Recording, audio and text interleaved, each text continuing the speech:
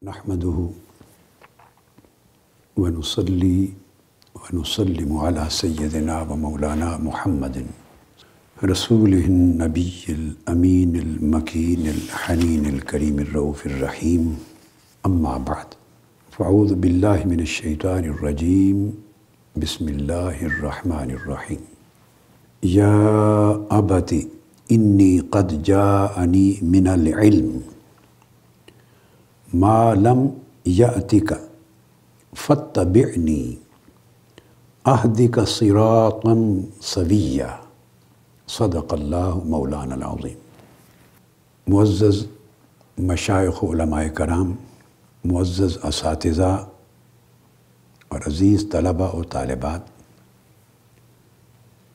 दुनिया भर में तमाम सामीन व नाजरीन और जुमला मुतल्लिकीन मुतल्लिमीन और मुस्तफ़ीदीन। यानी इल्म हासिल करने वाले, इस्तेफ़ादा करने वाले, सुनने, समझने वाले, इल्म का इश्तियाक रखने वाले।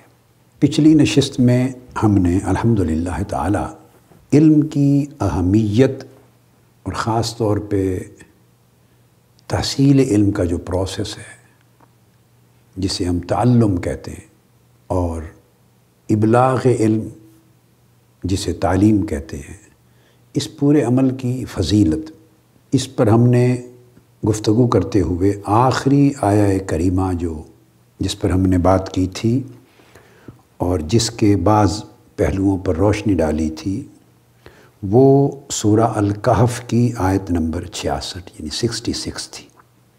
सैदना मूसा अलैहिस्सलाम और सैदना खिज़र अलैहिस्सलाम का वाक़ था। फ़वजदा अब्दम मिन इबादिना आतना रहमतम मिन इंदिना व अल्लमना मिल्लदुन्ना इल्मा और इसका बकिया अगली आयत भी। इस पर गुफ्तु हम कर चुके हैं। आज हम अपनी गुफ्तु को जिस आया करीमा से शुरू कर रहे हैं, वो सूरह मरियम की आयत नंबर तैंतालीस है। फोर्टी थ्री सूरह मरियम का नंबर उन्नीस है नाइनटीन इसमें सीदना इब्राहीम अलैहिस्सलाम अपने चचा को, आज़र को, जिसने आपकी परवरिश की और रिवाजन, एहतरामन परवरिश के बायस जैसे अरब का रिवाज है और कदीम ज़मानों से तो उसको बाप कहा जाता था। इसी तरह ज़िक्र आया है कुरान मजीद में। तो इब्राहीम अलैहिस्सलाम अपने उस परवरिश करने वाले बाप, यानी हकीकी चचा को नस्बी एतबार से चचा, परवरिश के एतबार से बाप।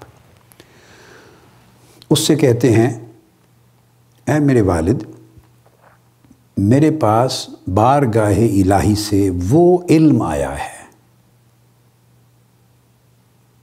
बार गहे इलाही से वो इल्म आ चुका है जो तुम्हारे पास नहीं है। कद जा अनी मिनल इल्म मालम या अतिक तो इसमें इल्म बिल वही की तरफ़ इशारा किया जा रहा है। और ये वो ज़माना है आपका इब्तदाई, जिसमें इल्म बिल वही के अलावा भी इशारा है। एक और इल्म की तरफ़, जो रुश्द व हिदायत, फ़हम व बसीरत और हकायक की मारफत का ज़रिया बनता है। मैंने पिछली नशस्त में भी इशारा किया था इस अमर की तरफ़ और अभी भी आगे एक दो आयात इन ताला आएँगी। हमारी गुफ्तु उन तक पहुँची तो फिर मैं इल्म की इन अकसाम पर थोड़ी डेप्थ में जा जाके गुफ्तु करूँगा। तो फरमाया कि मेरे पास वो इल्म आ चुका है तो कद जा अनी मिनल इल्म, इशारा इल्म बिल वही की तरफ़ है। जो तुम्हारे पास नहीं फत फ़तबनी सो इस इल्म की वजह से मेरी इत्तबा करो, मेरी पैरवी करो।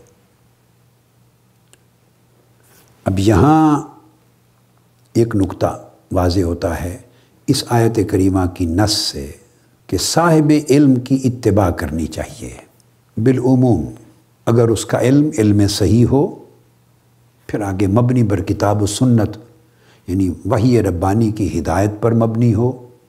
तो उसकी पैरवी है लाजिम है हर उस शख्स पर जिसके पास उस दर्जे का इल्म नहीं है। अहदी का सिराकन सबिया। इस मेरे इल्म की पैरवी की वजह से मैं तुम्हें सीधी राह दिखाऊँगा, यानी तुम भी हिदायत पा जाओगे। मैंने पिछली नशस्त में भी तफसील से बात की थी कई आयात करीमा के तहत कि इल्म सही हिदायत तक पहुंचाता है और इल्म का और हिदायत का इस तरह रब्त और ताल्लुक़ है जो एक दूसरे से जुदा नहीं हो सकता। तो हिदायत मुनज़ल मिनल्ला इल्म से मिलती है। लिहाजा किसी और ज़रिए से हासिल होने वाला इल्म अगर मुनज़ल मिनल्लाह इल्म से, वही पर मबनी इल्म से अगर टकरा जाए, उनमें तसादम और तजाद हो जाए तो फिर हर किस्म के इल्म को रद्द कर देते हैं। वही पर मबनी इल्म हर एक पर फ़ायक होता है। अब इससे आगे एक आयत करीमा ले रहे हैं सूर ताहा की। आयत नंबर 114 है। ताहा की जो सूरा नंबर 20 है, वर्स 114 इसमें एक बड़ी अजीब बात है जो इल्म की अज़मत और इल्म की फजीलत को उजागर करती। उसमें आका सलाम को अल्लाह रब्ज़त ने हिदायत फरमाई है, वक़ुर रब ज़िदनी इल्मा फ़तआल्लामलिकहक़ ये आयत करीमा शुरू हो रही है यहाँ से। बस अल्लाह बुलंद शान वाला है, वही बादशाह हकीकी है। तो अल्लाह रब्ज़त की तोहद से इस आयत का बयान शुरू होता है। और आयत करीमा ख़त्म होती है इस दुआ पर, जो हजूर सलाम को तलकीन की अल्लाह रब्ज़त ने फ़रमाया मेरे हबीब मुकर्रम वक़ुर रब ज़िदनी आप अल्लाह के हुजूर ये अर्ज़ किया करें कि, ए मेरे रब मुझे इल्म में और बढ़ा दे। मेरे इल्म में और इजाफ़ा फरमा।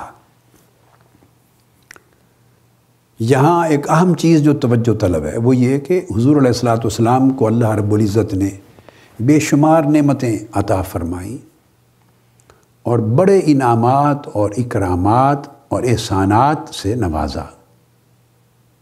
बड़े दर्जात बुलंद किए और हर नेमत कायनात में सबसे ज़्यादा हुजूर इस्लाम को अता हुई, क्वालिटी में भी, क्वांटिटी में भी। मगर किसी एक नेमत में और इजाफे के लिए फरमाया, लाइन शकर तुम लाजीद दन्नकुम हर एक अल्लाह ने, अल्लाह की नेमत के लिए। अगर तुम शुक्र अदा करोगे किसी नेमत पर तो अल्लाह ताला अपनी नेमत में और इजाफ़ा फरमाएगा, उसे और बढ़ा देगा। ये उमूमी तालीम की मगर किसी एक नेमत का नाम लेकर पूरे कुरान मजीद में ये बात तवज्जो तलब है। अल्लाह रब्ज़त ने हुक्म नहीं फरमाया कि इसमें इजाफे के लिए मेरे महबूब दुआ किया करें। उम्र भी नेमत है, अखलाक भी नेमत है, तकवा भी नेमत है, अमल साले भी नेमत है, सेहत तंदुरुस्ती भी नेमत है, आफ़ियत और सलामती भी नेमत है। अला आज़िल क़यास बहुत सारी सलाहियतें ऐसी हैं इंसानी ज़िंदगी में और अल्लाह पाक के बहुत से इनामात हैं, जिनका आप शुमार नहीं कर सकते। मगर कुरान मजीद में किसी एक नेमत का भी नाम लेकर सराहतन इस तरह का हुक्म नहीं फरमाया कि इस नेमत में मज़ीद इजाफे के लिए दुआ किया कीजिए। जिसमें इजाफे की दुआ का हुक्म फरमाया, वो नेमत इल्म है। फरमाया, वक़ुर रब ज़िदनी इल्मा. आप अंदाज़ा करें कि इल्म की कदर व मंजिलत क्या है और अल्लाह रब्ज़त की अपनी निगाह अजीम में इल्म का मुकाम और उसकी जगह क्या है। कि हजूर सलाम को तलकीन फरमा रहे हैं कि दुआ किया कीजिए, मेरे हजूर अर्ज़ किया करें कि मैं आपके इल्म में और इजाफ़ा करूँ। तो यहाँ से दो चीज़ें मालूम हुई। एक तो ये वो इजाफ़ा करने की अल्तजा और दुआ किसी और नेमत के लिए उसका जो हुक्म नहीं आया, सिवाय इल्म के तो पता चला कि इल्म इतनी बड़ी नेमत और इतनी बड़ी शय है कि आका सलाम को भी इसमें हर वक्त इजाफे के लिए दुआ करने का कहा गया। दूसरी बात ये मालूम हुई कि इल्म हमेशा बढ़ता रहता है। इल्म जामिद नहीं होता। तो इल्म नबूवत में भी इजाफा होता रहता है। लम्हा ब लम्हा। यानी आका सलाम ने जब ऐलान नबूवत फरमाया, रिसालत का दौर जब शुरू हुआ और आपकी बेसत हुई तो जो इल्म का आपका दर्जा और मर्तबा उस वक्त था, वो दर्जा नहीं था जब आप दुनिया से रुखसत हुए। तो आपके अपने मरातब इल्म भी लम्हा लम्हा रोज़ बरोज़ वक्त ब वक्त बढ़ते गए। और दुनिया से आकर सलाम जब रुखसत हुए तो इल्म के बाब में कोई हकीकत ऐसी नहीं रह गई थी जिसका इल्म अल्लाह रब्ज़त ने आकल इस्लाम को अता न फरमा दिया। यानी आपकी हयात मुबारक में किसी गोशे में भी, किसी अम्र की नस्बत, किसी पहलू में लाइलमी नहीं रही थी। लाइलमी की हर हालत आपके विसाल से कबल इल्म से बदल दी गई थी। ये कुर रब ज़िदनी इल्मा से मुस्तफ़ाद होता है। नबी की दुआ रद्द नहीं होती। और फिर ये ऐसी दुआ है जिसके करने का हुक्म अल्लाह रब्ज़त दे रहा है कि मेरे हबीब, आप मुझसे ये दुआ किया करें। यानी वो इजाफ़ा फरमाना चाहता है लम्हा लम्हा, और इल्म नबुवत को, इल्म मुस्तफ़ा को उस मुकाम तक पहुँचाना चाहता है कि मखलूक के लिए उससे आगे इल्म का कोई और दर्जा ना रहे। उसके बाद फ़कत इल्म खालिक हो। तो इल्म मखलूक अपनी आखिरी हद को पहुँच जाए, उससे ऊपर मखलूक के लिए मुमकिन ना हो, फिर इल्म खालिक है। उस दर्जे तक इल्म नबूवत को इल्म नबूवत मोहम्मदी सल्लल्लाहु को पहुँचाने के लिए अल्लाह रब्ज़त हुक्म फरमा रहा है। तो जब अल्लाह हुक्म फरमाएगा, ये एक अकीदे का नुक्ता भी फ़रा है, फ़रा। एक छोटी सी ब्रांच साथ बयान कर दूँ कि जिस इल्म में इजाफ़े और उसके मरतबा कमाल तक पहुँचाने का हुक्म अल्लाह रब्ज़त ख़ुद फरमाए और फिर आकलाम तामील इरशाद इलाही में उम्र भर ये दुआ करें। चूँकि फरमाया कुर रब ज़िदनी इल्मा। उम्र भर दुआ करें कि बारी ताला मेरे इल्म में और इजाफ़ा कर, और इजाफ़ा कर। तो बताइए, मरतबा इल्म में कौन सी शय ऐसी रह गई होगी जो हजूर इस्लाम के दामन इल्म में ना आई हो? ये बात समझने वाली। बाज़ात बाज़ जहनों में इंसान है ना, और इंसान क्यास करता है बहुत सारी चीज़ों को अपने ऊपर। अपने ऊपर क्यास दूसरे को नहीं करना चाहिए। हर एक को क्यास उसके हाल के मुताबिक करें, उसके मर्तबे के मुताबिक, उसकी सलाहियत के मुताबिक, उसकी इस्तेदाद के मुताबिक। तो आकल सलाम का एक तो ये, और फिर कुरान मजीद की आयत करीमा सूरा वदुहा में आउज़बिल्लिनशैतवानजीम वलल आखिरत ऊला। आपकी आखरत, आपकी पहली दुनियावी ज़िंदगी से बेहतर, यकीनन। और दूसरा आपकी हर बाद की घड़ी पहली घड़ी से बेहतर है। यानी आकल इस्लाम की हयात तय्यबा में हर अगला दिन पहले दिन से बेहतर होता और ऊँचे रुतबे पर होता। इसलिए तो फरमाया गया कि जो मोमिन अगर उसका अगला दिन पहले दिन के बराबर रहे तो उसके लिए खसारा है। उसका तकाजा, उसके ईमान का ये था कि पिछले दिन से अगला दिन उसके ईमान में बढ़ जाता। उसके ईमान का दर्जा बढ़ जाता, रुतबा बढ़ जाता, खौफ खुदा में बढ़ जाता, अल्लाह के क़ुर्ब में और आगे बढ़ जाता। इसलिए आकल सलाम ने फरमाया कि मैं हर रोज़ सत्तर मरतबा एक हदीस में, दूसरी हदीस में फरमाया सौ मरतबा इस्तफ़ार करता हूँ। हालाँकि आकल सलाम मासूम है। आप गुनाहों से पाक हैं, मासूम हैं। नबी मासूम होता है। और इस्तफ़ार होता है गुनाह के लिए लफ्जशों के लिए। तो जो नबी मासूम है गुनाहों से लफ्जशों से, वो इस्तफ़ार क्यों करता है? तो इसके कई मानी हैं। मैं अभी सदीस की शराब की तरफ़ तो नहीं जा रहा। मैं मरकूज़ रखना चाहता हूँ अपनी पूरी गुफ्तु उसी नुक्ते पर जो हमारा मौजू है। तो मासूम नबी क्यों इस्तफ़ार कर रहा है? तो वो ये है उरफा ने मुहदसिन ने, दोनों ने, दोनों तबक़ात ने आरफीन ने भी मुहदसिन ने भी। अहल इल्म ने यह बयान किया कि आकल सलाम की चूँकि हर बाद की ज़िंदगी की, हर बाद की घड़ी, आपकी हयात मुबारक का हर बाद में आने वाला लम्हा, हर अगला दिन, पिछले दिन से अफजल होता, हर अगला लम्हा पहले लम्हे से आला होता, हर अगली घड़ी पहली घड़ी से ऊँचे रुतबे वाली होती। चूँकि लम्हा ब लम्हा आपका दर्जा बुलंद से बुलंद होता जा रहा था। तो जब आप बुलंद रुतबे पे खड़े होकर पीछे निगाह डालते तो वो जो कम रुतबा था, आपके हसब हाल अगले रुतबे के मुकाबले में, उसको अल्लाह के हुजूर इस्तफ़ार के लायक समझते। शान अबदियत में अल्लाह के हुजूर बंदगी का हक अदा करने में वो देखते कि वो लम्हा इस अगले लम्हे के मुकाबले में नीचे था। तो गोया वो महसूस फरमाते कि अल्लाह का हक के अदा करने में उसमें कमी रह गई। बनस्बत उस लम्हे के जो अब अदा हो रहा है।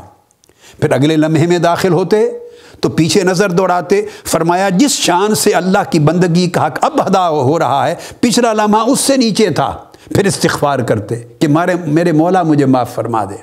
शायद उस लम्हे मेरे ऊपर जो हक है, तेरी बंदगी का का शायद उस लम्हे, उस शान से अदा ना हुआ हो। इस तरह लम्हा ब लम्हा जो जो आपकी शान, रुतबा बुलंद होता चला जाता और पलट के पिछले लम्हे को देखते तो वो लम्हा उस लम्हे के मुकाबले में कम होता, कमतर होता। उस लम्हे की, दूसरे लम्हे के मुकाबले में कमतरी को देखकर और उसकी बरतरी को देख कर इस्तफ़ार करते चले जाते। और इस तरह दिन में सत्तर मरतबा आपकी मुबारक हालत मुतगैर होती, ऊपर जाती ऊपर जाती। और सौ मरतबा ऊपर जाती। इसलिए मोमिन की शान में कहा गया कि मोमिन दिन में सत्तालीस मरतबा, सत्तर मरतबा, सौ मरतबा उसके हाल में तगैर होता है और जिसके हाल में तगैर ना हो वह समझे कि मेरी हालत मुनाफिक की है, उसमें निफाक है। चूँकि अगर ईमान है तो उसमें नमू होगी, ये बात बड़ी अहम है। ईमान है तो उसमें इरतका होगा, उसमें तरक्की होगी। ईमान का तकाजा ये है देखें ना, एक पौधा अगर आप एक ज़मीन पे लगा देते हैं, मैं नुक्ता समझा रहा हूँ आपको को रब ज़िदनी इल्मा की शरह कर रहा हूँ। एक पौधा लगाते हैं, उस पौधे को ज़मीन भी अगर अच्छी हो, फिर पैगंबर के दिल की ज़मीन से किसकी ज़मीन अच्छी होगी? और फिर पैगंबर की इतबा में मोमिन के दिल की ज़मीन से किसकी ज़मीन अच्छी होगी? तो अगर ज़मीन भी अच्छी हो, माली भी अच्छा हो, फिर अल्लाह से बढ़कर माली कौन अच्छा होगा? फिर खाद भी अच्छी हो, फिर पानी भी ठीक मिल रहा हो वक्त पर। और अगर सूरज और धूप चाहिए, रोशनी चाहिए तो वो भी मुयसर हो। ये सारे तकाजे पूरे हो रहे हों तो पौधा तरक्की क्यों नहीं करेगा? तबाना क्यों नहीं होगा? आगे बढ़ेगा क्यों नहीं? यह है ईमान की मिसाल। अगर ज़मीन भी अच्छी है, खाद भी मिल रहा, रही है, पानी भी मिल रहा है, धूप और रोशनी भी मिल रही है, और उसकी कल्टीवेशन भी प्रॉपर माली कर रहा है, सारी शराइत पूरी हो रही हैं, फिर भी पौधा न बढ़े तो इसका मतलब है कि कोई कीड़ा लग गया है उसको, पौधा जल रहा है, पौधे में कोई नक्स है तो फिर ट्रीटमेंट करते हैं उसका। ये गार्डनिंग का सब्जेक्ट है, अगर आपको शौक़ हो गार्डनिंग का, बागबानी का, पौधे लगाने का और उनका ध्यान रखने का तो फिर आपको समझ होगी, जो लोग ये शौक़ रखते हैं उनको पता है, फिर वो फ़िक्र करते हैं, तशवीश हो जाती है कि देर इज़ समथिंग रॉन्ग कोई ख़राबी है, उसका फिर ट्रीटमेंट करते हैं। फिर वो चीज़ें उखाड़ते हैं, फिर वो मुख्तलिफ़ उगने वाले जो गलत पौधे उनको उखाड़ते हैं केमिकल देते हैं अलाजल क्या स्प्रे करते हैं ट्रीटमेंट एक अलग सब्जेक्ट है, फिर होता है। क्यों? कि पौधे की परवरिश रुक गई है नश्व नुमा उसकी तरक्की, इरतका रुक गया है। पौधा क्यों नहीं बढ़ रहा? तो जिस तरह पौधा न बढ़े तो तशवीश होती है। इस तरह ईमान भी एक पौधा है, जो दिल की ज़मीन पे उगता है। अगर वो हर रोज़ ना बढ़े तो मोमिन को तशवीश होनी चाहिए कि कहाँ मेरे दिल की ज़मीन में कोई ख़राबी है, उसमें कोई निफाक का कीड़ा लग गया है, हिरस और हवा हवस का कोई कीड़ा लग गया है, रियाकारी का कीड़ा लग गया है, मेरी नीयत में कुछ खलत मलत हो गया है, खालिस और गैर खालिस चीज़ मिल गई है उसमें कुछ और गुनाहों की आलूदगी आ गई है, उसको तात का पानी नहीं मिल रहा, उसको अल्लाह के क़ुरब और अल्लाह की रज़ा की खालिस तलब की नीयत जो है वो खाद नहीं मिल रही, उसकी देखभाल नहीं हो रही, सौ इसबाब हैं। मोमिन को तशवीश होगी कि मेरे ईमान का पौधा बड़ा क्यों नहीं हो रहा, वहीं खड़ा हुआ है। इसलिए फरमाया, जिसके ईमान की हालत में तगैर और तगैर बमाना इरतका है, ऊपर तरक्की करना तबाना होना, बढ़ना, ये ना हो वो मुनाफिक है। और मोमिन तो एक दिन में दर्जनों, बीसियों, पचासों मरतबा अपना हाल बदलता है। यानी हालत ईमानी, उसमें तगैर आता है, यानी मुसलसल सुब इरतका रहता है ईमान।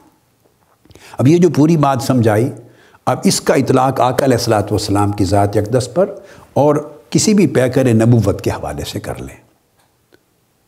तो आकल सलाम कि इल्म के पौधे को बढ़ाने वाला, परवरिश करने वाला, देखभाल करने वाला माली अल्लाह ख़ुद है। ज़मीन कल्ब मुस्तफ़ा है। वो दिल जिस पर अल्लाह अपनी वही उतारता है, जो वही को जज्ब करने की सलाहियत रखता है, वो दिल। जो अल्लाह की वही को जज्ब करता है, वो दिल जो अल्लाह का दीदार करने की सलाहियत रखता है, माँ कजब अल्फुआद मारा वो कल्ब मुस्तफ़ा है। फिर ईमान और तात और तकवा, आका इस्लाम से बढ़कर किसका हो सकता है? वो खाद और पानी मिल रहे हैं। ये सब कुछ हो रहा है। तो इस वजह से इस्लाम की लम्हा ब लम्हा, इतनी तेज़ रफ्तारी से आपके अहवाल की, कैफियात ईमानी की, दर्जात की, मरातब की, सलाहियतों की, इस्तेदाद की, इल्म की, तकवा की, परहेजगारी की, शान, हर चीज़ में लम्हा मलम्हा इरतका होता रहता। वलल आखिरत खैरुल्ला का इनकास। आपके हर लम्हे, हर हाल में होता। हर हाल में, हर जहत में। वही चीज़ इल्म में भी है। तो इसलिए इल्म हजूर सलाम का लम्हा ब लम्हा। गार हिरा में जब इकरा बिस्म रबी खलक का रबता जुड़ा था, गार हिरा में तो इल्म की जो कैफियत उस वक्त थी, साफ़ ज़ाहिर है वो अगले दिन या साल के बाद नहीं थी। फिर अगले अयाम में वो नहीं थी। तो बढ़ती बढ़ती बढ़ती। जब तेईस बरस गुजर गए और रब ज़िदनी इल्मा का सिलसिला इरतका का जारी रहा तो इल्म ख़त्म हो गया। इल्म के समंदर, इल्म के ओशन, जो भी अल्लाह रब्ज़त ने मखलूक के लिए मुमकिन बनाया था, जो भी मखलूक के लिए मुमकिन था, वो सारा आकल सलाम हज़म फरमा गए। आपकी शान इल्म में आ गया सारा। और सिर्फ़ वो रह गया जो शान इल्म खालिक की है, जिसमें मखलूक शरीक नहीं हो सकती। तो ये वाहिद एक नेमत है कि इसको मज़ीद मांगने की तलकीन फरमाई गई। इल्म के सिवा किसी और नेमत पे ये ज़ोर नहीं दिया। अब उसके बाद अगली आयत करीमा जो हम ले रहे हैं, ये सूरह अल-अंबिया की है और उसमें आयत नंबर चौहत्तर है। इसमें भी वही मजमून है जिसका ज़िक्र पिछली नशस्त में हम कर चुके कई बार कि अम्बिया का ज़िक्र करते हुए अक्सर कुरान मजीद ने उनके हुक्म नबुवत को शान इल्म के साथ इकट्ठा बयान किया, जोड़ा है। इस पर मैंने तफसीली गुफ्तु पिछली नशस्त में कर दी थी। मगर अब आयात नई आ रही हैं। यहाँ फरमाया, वलूतन आतना हुक्मम व इल्मा। और लूत अलैहिस्सलाम को भी हमने हिकमत, यानी हुक्म नबुवत का माना भी है और हिकमत का माना भी है। और इल्म से नवाजा था। तो हिकमत और इल्म से नवाजा था यह हुक्म नबुवत और इल्म से नवाजा था तो यहाँ भी जोड़ा है। वनजना मिनलकरिया अल्लती कानत तमलखबाइस इन कानू कौम सौ इन फ़ासिकीन। फरमाया कि जब हमने उनको हमत और इल्म से नवाजा तो हमने उन्हें उस बस्ती से निजात दे दी, जहाँ के लोग गंदे काम करते थे, पलीद काम करते थे। और बेशक वो बहुत ही बुरी बदकिरदार कौम थी। अब यहाँ दो चीज़ें एस्टेब्लिश होती हैं। एक तो वही बात जो पहले हम कह चुके कि हमत और हुक्म नबुवत को, हर पैगंबर के हुक्म नबुवत को और इल्म को अल्लाह रब्ज़त ने बहम जोड़ा है। लाजिम मलजूम है। दूसरा इसमें बयान फरमाया कि इल्म बायस निजात है। तो इल्म की पहचान है इसमें बयान की गई कि इल्म इल्म सही वही होता है जो खबाइस से, बुरे कामों से बंदे को निजात दे दे। जो इल्म बुरे काम से, फिस्क से, फजूर से, पलीदी से खबाइस से, बुराइयों से, बुरी आदात से, बुरे अखलाक से, बुरे अमाल से जो इल्म निजात न दे व नजई ना हो मिन करिया एक बस्ती है। अब इसका इतलाक़ कर रहा हूँ इतलाक़ कर रहा हूँ। जो इल्म अमाल सयाह को ख़त्म न करे और उनकी जगह अमाल सालिया की रगबत न पैदा करे, जो इल्म तकवा पैदा ना करे, जो कुर्बत इलाहिया का शौक़ पैदा ना करे, जो इल्म परहेजगारी न दे जो आखरत और जन्नत की तरफ़ रागब न करे और बुरे आमार बुरी आदात, बुरे अफ़ाल और बुरे हरकत से बंदे को निजात न दे, वो इल्म इल्म सही नहीं है। वो फिर तख्ती पे लिखे हुए सिर्फ़ स्याह हरूफ हैं। तो यहाँ जो अख्ज़ कर रहा हूँ नुकता, वो ये कि हुक्म नबुवत और इल्म बयान करके फिर फरमाया वनज जईना मिनल करिया. यानी देखिए ना, निजात तो मिली उस करिया से जहाँ बुरे काम होते थे, मगर उससे पहले इल्म का ज़िक्र किया। तो तीन चीज़ों को जोड़ा, हिकमत को, इल्म को और निजात मिनल खबाइस को। नजात मिनल खबाइस। तीन चीज़ों को जोड़ा कि इल्म के अंदर एक इनबिल्ट खूबी है, शान है इल्म की, तासीर है। कि वो तकवा से मोहब्बत करता है। वो मन की कैफियत को, अंदर के हाल को बदलता है, परहेजगारी लाता है और ख़बाइश से और बुराइयों से बंदे को दूर करता, बचाता है। इसके बाद फिर आगे सूरह अलम्बिया की फिर आयत नंबर उनासी और अस्सी सेवेंटी नाइन और एटी अलम्बिया सूरह नंबर इक्कीस, ट्वेंटी वन। इसमें फरमाया फ़फ़हमना सुलेमान। वकुल्लन आतना हुक्मम व इल्मा चुनाचे हम ही ने सुलेमान को वो फ़ैसला करने का तरीका सिखाया था, जिससे वो फ़ैसला करते थे। और इन सबको पीछे अम्बिया आलम का ज़िक्र आ चुका है। अब बिलजुमला बात हो रही है। इन सबको हिकमत और इल्म से नवाजा था हमने। फिर देख। अब तमाम अम्बिया का बिलजुमला ज़िक्र करके हमत और इल्म से नवाजा था। उनकी शान बयान कर दी कि उनकी नुमाया शान ही ये थी कि वो साहिबान इल्म हिकमत थे। इसके बाद अब हम आते हैं सूरह अल हज की आयत करीमा पर और ये तीन आयतें मैं इकट्ठी पहले कोट करता हूँ और ये फिर इस पर इल्म की एक बहस है। सूरह अल हज की आयत नंबर तीन है। और सूरह अल हज इसका नंबर ट्वेंटी टू है। Twenty two, three. इसके बाद हम लेंगे फिर आगे सूरह अल हज की आयत नंबर आठ, एट, ट्वेंटी टू, एट। फिर साथ तीसरी को मैं ज़िक्र कर लूँगा, वो भी सूरह अल हज की आयत नंबर चौवन, ट्वेंटी टू, फिफ्टी फोर। और फिर साथ इसके हम सूर अल हज की आयत नंबर सत्तर का भी ज़िक्र कर लेते हैं ट्वेंटी टू सेवेंटी चार आयात करीमा सूर अल हज की इकट्ठी मैं ज़िक्र करता हूँ तो फिर इस पर गुफ्तु करते हैं। इनमें ज़राए इल्म का बयान किया गया है। इल्म के आलात क्या हैं? इल्म के ज़राए क्या हैं? मसादिर क्या हैं? इल्म किन किन तुरक और वसाइल से, आलात से हासिल होता है? और उसकी क्या क्या हैसियत है? इस पर फ़लासफ़ा भी कर गुफ्तु करते थे। उन्होंने अपने अपने अंदाज से, अपनी कुतुब में बात की। अरस्तु के ज़माने से, हमारे फिर दौर इस्लाम के दौर में, जो अरब दुनिया में जब फ़लासफ़ा थे, जिनकी कुतुब मदारस में अरसे दराज तक पढ़ाई जाती रही हैं तो वो फ़लासफ़ा का भी एक नुक़ नज़र था, इल्म और आलात इल्म और ज़राए इल्म, मसादर इल्म, वसाइल इल्म के ऊपर, इल्म की हकीकत पर, माहियत पर, आलात पर, वसाइल पर। बाद इल्म कलाम का भी ये मौजू बना मुतकलमीन ने इस पर गुफ्तु की। फिर इल्म कलाम से ही लेकर हमारे फ़ोकहा में जो उसूली जीन उसूलफ़िक पर बात करने वाले, इल्मूल पर, उन्होंने भी इसको लिया। तो उसूल फ़िक की अक्सर जो बड़ी कुतुब हैं, इल्मूल में, उसूल फ़िक पर तो वो फिर इल्म की माहियत पर, हकीकत पर, वो भी बात करती।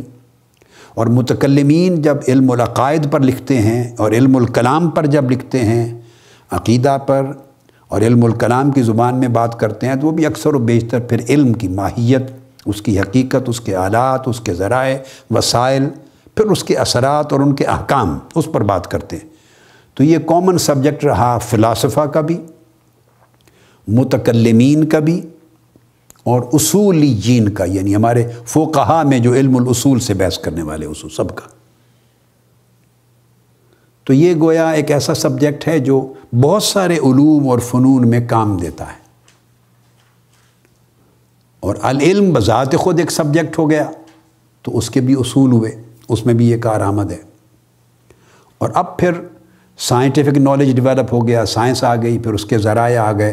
तो इल्म तो भरसूरत इल्म है, उसके ज़राए बढ़ते जा रहे हैं तो आज भी हैं उन्हीं बुनियादों पर, मगर उनमें, दायरों में तोसी होती गई। उसके तरीक़ेकार बदलते चले गए, आलात बदलते चले गए, मगर असल वही है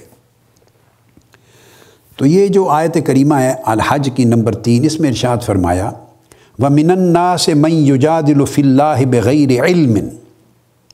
वयत्ता बेकुल्ला शैतान मरीद। कि कुछ लोग ऐसे भी हैं, ये कुरान मजीद ने इसको बयान किया, कुछ लोग ऐसे भी हैं कि जो अल्लाह के बारे में बग़ैर इल्म के झगड़ा करते हैं, मुजादला करते हैं, यानी मुनाजरा करते हैं, तकरार करते हैं, बहस करते हैं बग़ैर इल्म के। और जब इल्म के बग़ैर करते हैं तो नतीजा ये होता है कि हर सरकश शैतान की पैरवी करते हैं। अब बग़ैर इल्म और मैं युजादिल्फ़िल्लाह अल्लाह की उलूहियत पर बात करते हैं, उसकी ज़ात व सिफ़ात पर बात करते हैं, उसके असमा पर बात करते हैं, उसकी शून परेशानों पर, उसके अफ़ाल पर बात करते हैं, उसकी तख्लीक पर बात करते हैं, बग़ैर इल्म बग़ैर इल्म के। अब साफ़ ज़ाहिर है एक बड़ी अहम चीज़ है। जो ये बात करता है, ऐसे अनोखे और अदक मौजूद पर अल्लाह की ज़ात व सिफ़ात में और उसके असमा व अफ़ाल में और उसकी दीगर शून में और उसकी शान खलाक़ियत में और उसके दीगर पहलुओं पर जो बात करता है तो आप थोड़ा सरसरी तरीके से सोचें। वो इल्म के बग़ैर तो बात कर ही नहीं सकता। थोड़ा आप गौर करें इस पर। यानी एक बिल्कुल जाहिल आदमी, बिल्कुल जाहिल। अनपढ़ है तो वो तो इस मौजू पर बात कर ही नहीं सकता। करेगा, कितनी करेगा, कितनी देर करेगा, क्या करेगा? तो ये इशारा किया गया है कुरान मजीद में, कुछ ऐसे लोगों की तरफ़, जो आकल सलाम के ज़माने अकदस में, उनके मुफसरीन ने, मैं अब तफसीरी पहलू की तरफ़ नहीं जाना चाह रहा। नाम बताए गए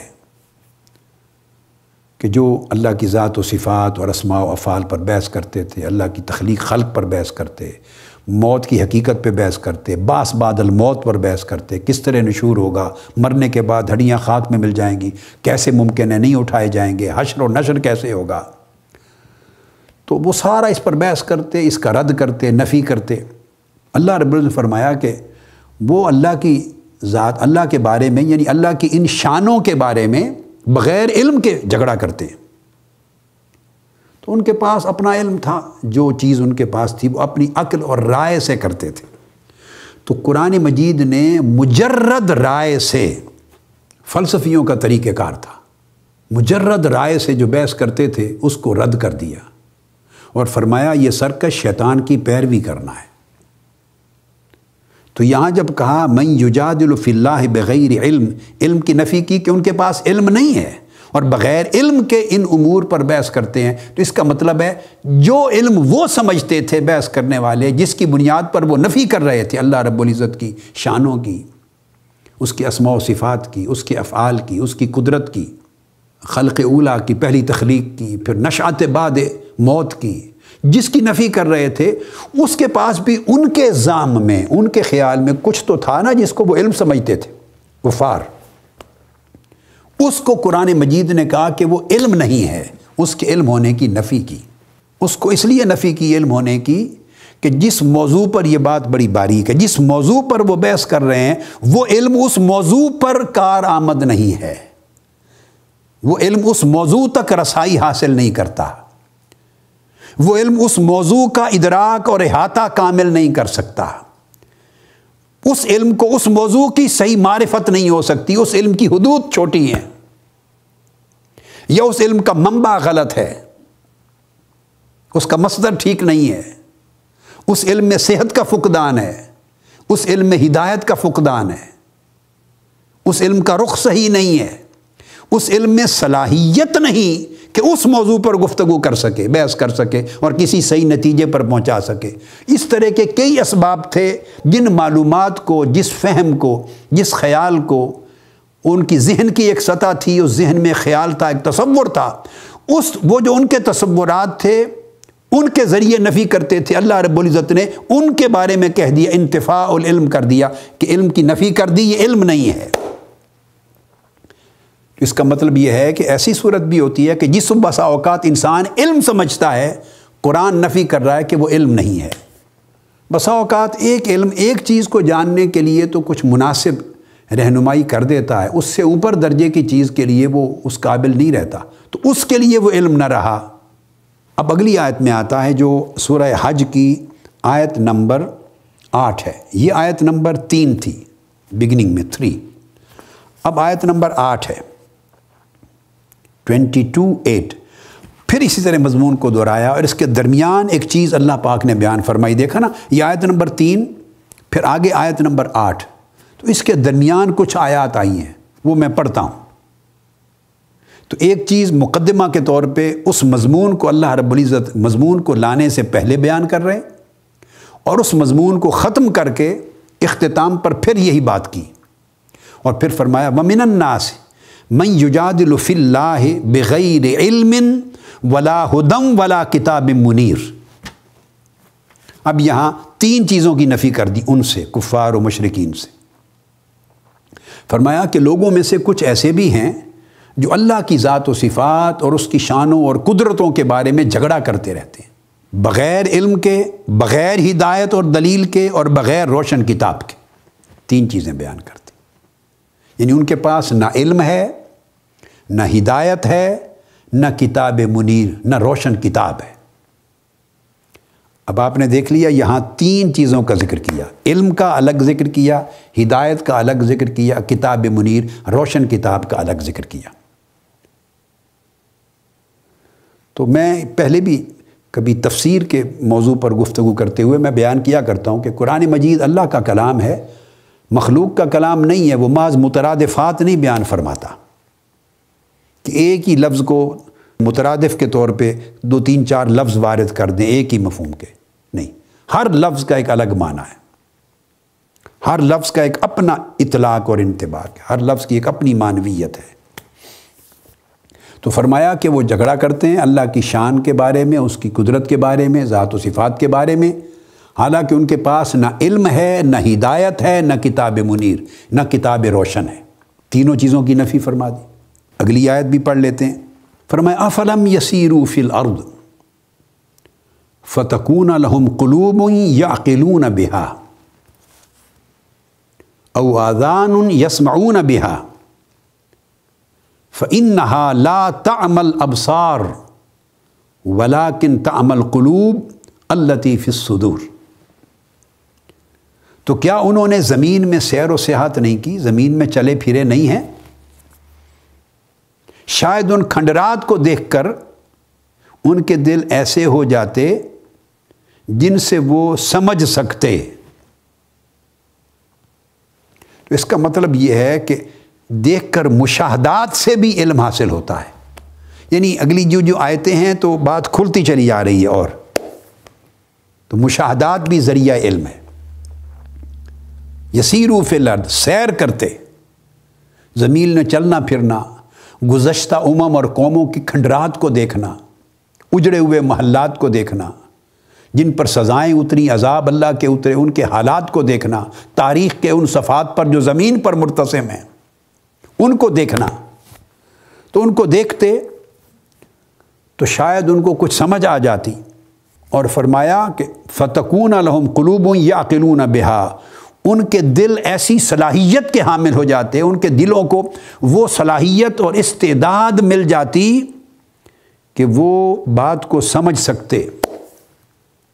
अवादान यसमऊन बेहा, या उनको ऐसे कान मिल जाते कि वो सुनने लग जाते। अब यहाँ बहरापन मुराद नहीं है।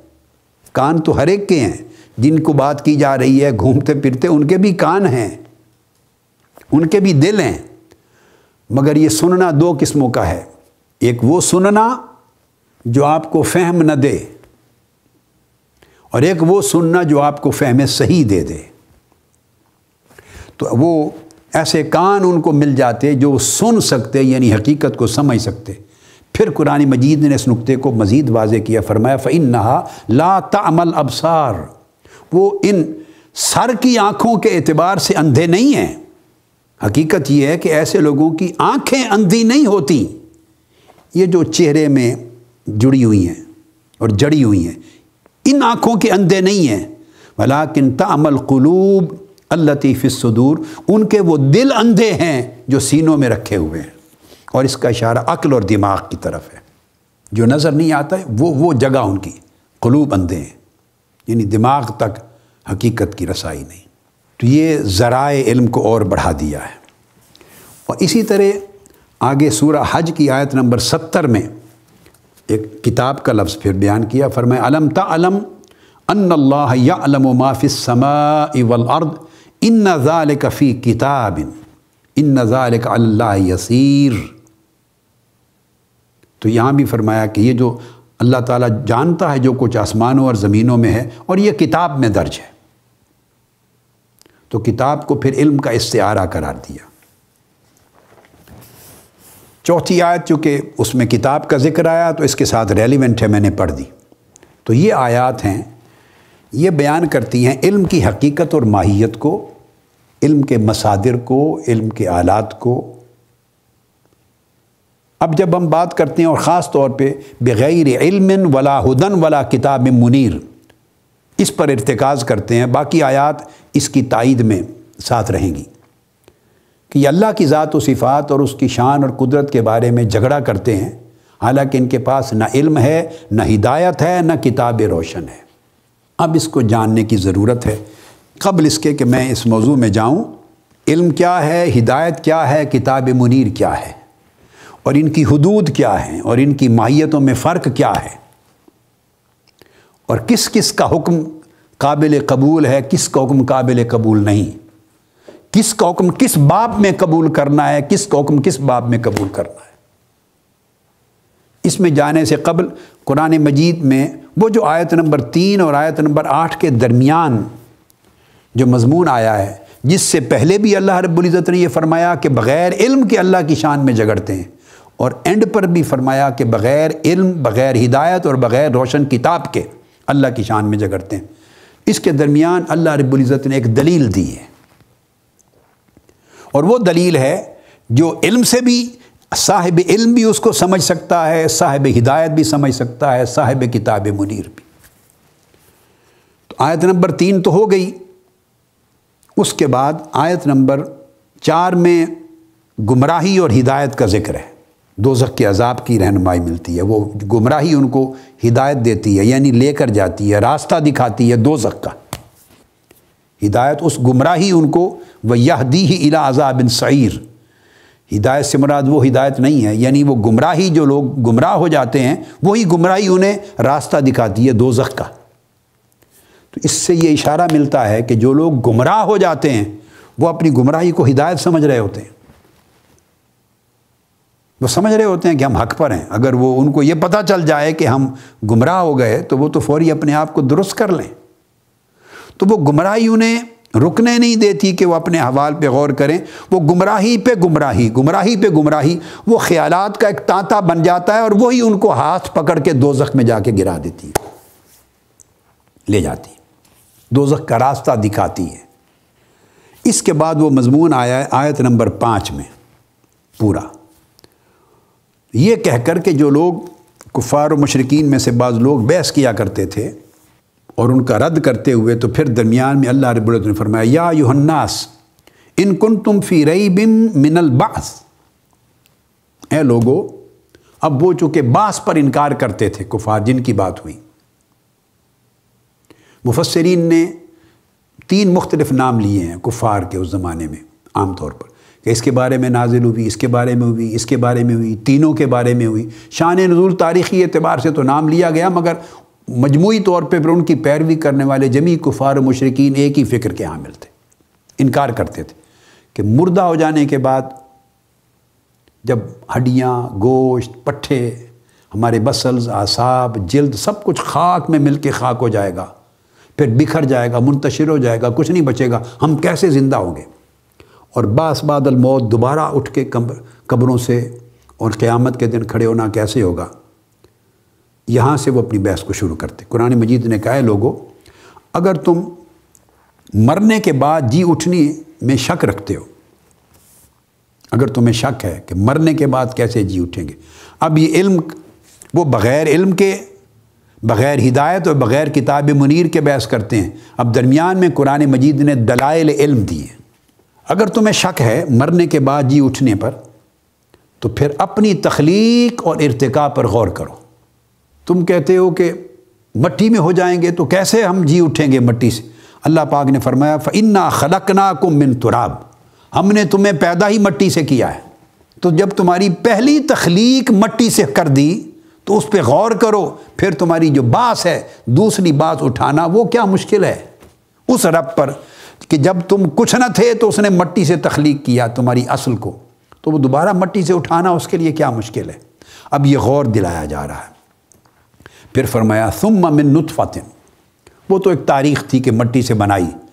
आदम इस्लाम की तश्कील हुई। वो एक केमिकल, ये कॉन्स्टिट्यूशन है इंसान का। आगे फरमाया सुम मिन नुतफ़तिन।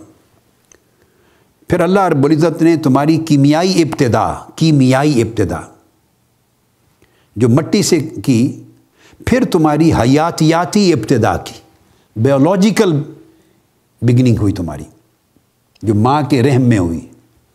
हयातियाती कीमियाई इब्तदा, वो तारीख़ है कि किस तरह नस्लन बाद नस्लन, हैवानात का दौर, नबाता, जमादात का, फिर नबातात का, फिर हैवानात का, फिर इंसानों का, किस तरह तश्कील होती चली गई, ये वो उसकी तरफ़ इशारा है। फरमाया, जब तुम्हारी हयातियाती इब्तदा का बायोलॉजिकल बर्थ का टाइम आया तो तुम्हारी इब्तदा एक नुतफ़ा से की, यानी तोलीदी कतरा से की।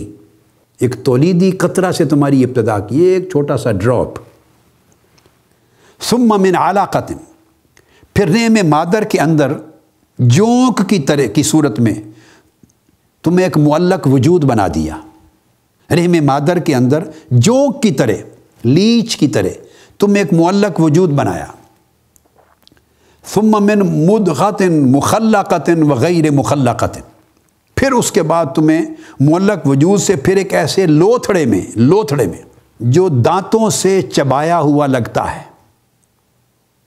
एक ऐसा गोश्त का जैसे लोथड़ा, वो बना दिया, जो ऐसे लगता है जैसे कोई गोश्त का लोथड़ा दांतों से चबा दिया गया हो।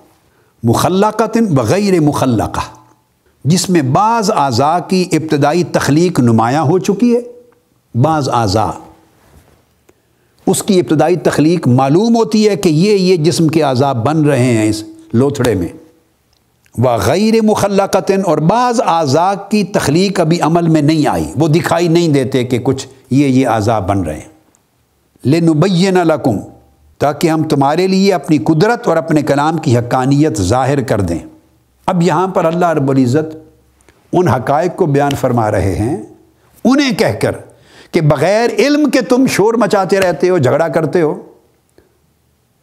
हम तुम्हें हकायक बताते हैं जो गैब के कई पर्दों के अंदर तश्कील पा रहे हैं, माँ के रहम में। अब ये नबी तुम्हें बता रहा है अपनी वही के ज़रिए, माँ के रहम में, वो हकायक। ये है इल्म और हिदायत और किताब मुनीर। व नकिर फ़िल अरहाम माँ नशा इला अजर मुसम्मा। और फिर हम जिसे चाहते हैं, रहमों में मुकर्रा मुद्दत तक ठहराए रखते हैं। माँ नशा जिसे चाहते हैं ठहराए रखते हैं। इसका मतलब है बाज़ों का अबॉर्शन भी हो जाता है। बाज़ बच्चे गिर जाते हैं। ये माँ नशा से पता चला। जिनको अल्लाह चाहता है मुकर्र मुद्दत तक में, मादर में महफूज रहते हैं। तो माँ नशाओ कहकर बाज़ों को मुस्तना कर दिया, बाज़ों का अबॉर्शन भी हो जाता। है उनको अल्लाह नहीं चाहता कि वो मुकर मुद्दत तक रहम मादर में महफूज रहें। तो हम तुम्हें नुकर मुकर्रा मुद्दत तक ठहराए रखते हैं। सुम नुखरजुकुम तिफला। फिर हम तुम्हें बच्चा बनाकर निकालते हैं बाहर। व मिन कुम मई यु तवफ़ा व मिन कुम मई युरद्दो इला अर्जल उमर। तुम्हारे निकालते हैं, परवरिश करते हैं ताकि तुम अपनी जवानी को पहुँच जाओ। तुम में से वो भी हैं जो जल्द वफात पा जाते हैं, जल्द जिनकी उम्र थोड़ी होती। अब देखें, पूरी इंसानी ज़िंदगी का अहाता कर लिया। तुम में से वो हैं मई यो तवफ़ा जो वफात पा जाते हैं, जवानी की उम्र में। पहले वफात पा जाते हैं जल्द, और कुछ वो हैं जो नहायत नाकारा उम्र होने तक लौटाए जाते हैं। यानी बहुत बुढ़ापे तक रहते हैं जब उनको पकड़ के बेटे या बच्चियाँ या फैमिली चल रही होती है। उठाना बैठाना भी मुश्किल हो जाते हैं। यानी ये लगभग सौ साल, नब्बे साल उसके करीब या उससे भी ज़्यादा उम्र तक का इशारा हो रहा है। उस उम्र तक भी ले जाते हैं बाज़ों को। लेकई ला या अलमा मिम्बाद शई आ ताकि वो शख्स ये मंज़र भी देख ले कि सब कुछ जान लेने के बाद अब फिर कुछ भी नहीं जानता। यानी फिर वो उसका निसियान आना लग जाता है, निसियान, भूलने लग जाता है। तो जानने के बाद अब वो नहीं जान रहा तो उसके आज़ा मुजमहल होने लग गए, फिर वो दौर भी कुछ लोग देख लेते हैं। कि जैसे उसके काम आज़ा उतने शानदार तरीके में इब्तदा में नहीं करते थे, अब बुढ़ापे में भी वो कैफियत पलट के आ गई। तो पहले इंसान की नशो नुमा इरतका, उसकी इब्तदा और इरतका का बयान किया, फिर मंजर बदला, फरमाया, वतरल अर्द हामिदतन और तो ज़मीन को ये भी देखता है, इंसान ये भी देखे कि तू देखता है ज़मीन को बिल्कुल खुश्क और मुर्दा देखता है। फ़ैज़ा अनजल ना अलमा अह तज़त वरबत व अम्बतत मिनकुल्ल जौजम बहीज। और तू इस पर भी गौर। अभी मैंने, ए इंसान तेरी इब्तदा बयान की। पहले कीमियाई इब्तदा, फिर हयातियाती इब्तदा। और तेरी इब्तदा ता इंतहा बयान की कि कैसे नशो नुमा हुई। अब आ, अब अपने इर्द गिर्द जो ज़मीन देखता हो, ए इंसान तू, दुनिया देखता है, ज़मीन, उस पर भी गौर कर। फरमाया तो देखता है कि एक ज़मीन बिल्कुल मुर्दा होती। फिर हम उस पर पानी बरसा देते हैं। और मुर्दा ज़मीन पर जब बारिश करते हैं, पानी बरसा देते हैं तो उसमें ताजगी और शादाबी की जुम्बिश आ जाती है, हरकत आ जाती है। ताजगी आने लगती है, शादाबी आने लगती है। और फिर वो फूलने बढ़ने लग अम्बतत फिर वो फूलने बढ़ने लग जाती है। इर्तका होने लग जाता है। मिनकुल्ल जौजिम बहीज, फूलने बढ़ने लग जाती है और फिर खुश नबा नबातात में से हर नौ के जोड़े उगाती है वो। यानी उसके मेल और फीमेल उसमें भी उगते हैं। और इशारा कर दिया कि मर्दों में भी मेल और फीमेल इस तरह पैदा होते हैं। इसी तरह नबातात में, प्लांट्स में, पौधों में भी मेल और फीमेल आते हैं। अब ये सारा वो नॉलेज है जो चौदह सौ साल के बाद इंसान को साइंस के ज़रिए अब मिला। ये सारा वो नॉलेज है। और चौदह सौ साल कबल आका इस्लाम ने यह सब कुछ दिया कुरान की शक्ल में। तो इशारा ये था कि तुम बग़ैर इल्म, बग़ैर हिदायत और बग़ैर किताब मुनीर का इनकार करते हो इन हकीकतों का। ये बयान करके कि किस तरह गौर करे बंदे कि किस हालत से तेरी इब्तदा हुई, किस तरह डेवलप हुए मरहला, दर मरहला तेरा इरतका हुआ और किस तरह फिर बच्चा बना, किस तरह वफात हुई, किस तरह बुढ़ापा आया, बुढ़ापे की कैफियत किस तरह तारी हुई। तो जिस तरह इंसान की ज़िंदगी में एक इब्तदा और इरतका है और फिर इसी तरह नबातात, आलम नबातात में भी एक इब्तदा है, इरतका है, और उसके भी जोड़े हैं। उसके भी मेल और फीमेल होते हैं। मर्द और औरत की तरह।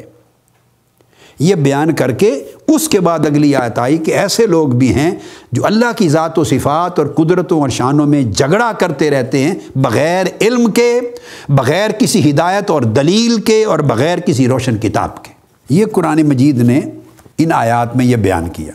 तो इससे ये जब तीन लफ्ज़ इस्तेमाल किए तो और मिसालें जो अल्लाह रब्ज़त ने दी, इनमें कई चीज़ें ऐसी हैं जो आँखों से नज़र आती। और दिमाग उससे मुतासर होता है, दिमाग मानता है। और कई चीज़ें ऐसी हैं कि जो आँख भी नहीं देखती, जुने में मादर के अंदर गैब के पर्दों में हो रही हैं। और दिमाग तक भी किसी ज़रिए की, उन तक रसाई नहीं कि दिमाग को वो तस्वुर मुंतकिल कर सके। कोई चीज़ें ऐसी हैं जो किताब मुनीर से मालूम होती। हैं कुछ चीज़ें ऐसी हैं जो इंसान के अंदर अल्लाह ने हिदायत, वदीयत की है, उसके ज़रिए मालूम हो जाती हैं। कुछ चीज़ें ऐसी हैं जो इकतसाबी इल्म अल्लाह ने इंसान को दिया, उसके ज़राए और उसके आलात उनके ज़रिए मालूम होती हैं। तो जहाँ आलात इल्म भी जवाब दे जाते हैं, इंसान के अंदर उलूही तौर पर वदीयत करदा, हिदायत के वसाइल भी जवाब दे जाते हैं, वहाँ किताब मुनीर दामन थामती है। यहाँ पर ख़त्म करता हूँ और इन अगली नशे में हम इस मौजूद को आगे लेकर चलेंगे और इसकी तफसीत में जाएँगे। ममा अली